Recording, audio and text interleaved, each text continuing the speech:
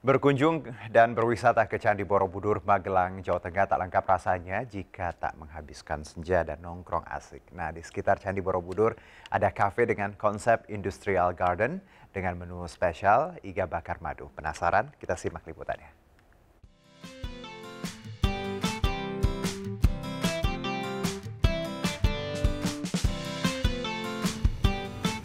Sejuk, nyaman, dan instagramable. Itulah ungkapan kita saat menginjakan kaki memasuki kafe yang berada di Jalan Candi Pawon, Desa Wanurejo, Kecamatan Borobudur. Kafe yang berkonsep industrial garden ini menyuguhkan suasana yang nyaman dengan bangunan yang modern.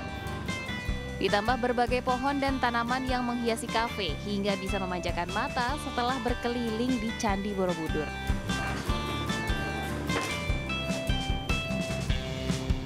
Menunya mulai dari stik iga bakar madu, nasi goreng kecombrang, hingga berbagai minuman olahan kopi yang lezat.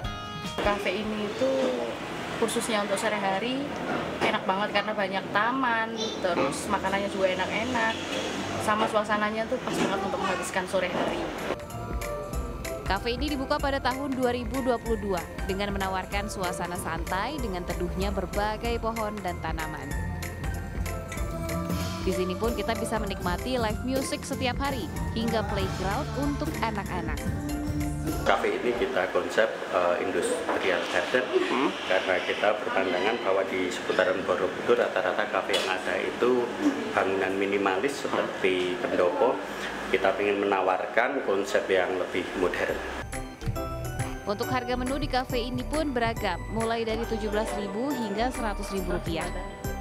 Nah, jika Anda sedang berkunjung ke Borobudur, tak ada salahnya untuk mampir dan melepas penat sejenak di sini. Dari Magelang, Jawa Tengah, Puji Hartono melaporkan.